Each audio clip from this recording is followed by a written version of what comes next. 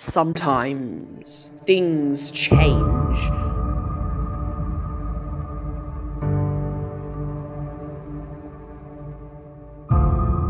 But often, the most drastic things happen when we least expect them.